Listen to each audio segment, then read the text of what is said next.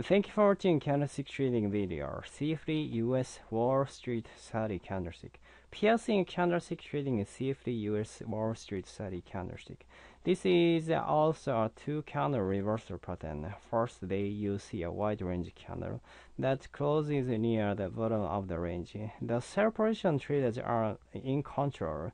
Second day wide range candle close at least halfway into the a first day candle. Those that shorted the market price on first day are now sitting at a loss on the rally. That happens on the second day. This can set up a powerful reversal, so you can trade this timing. Thank you.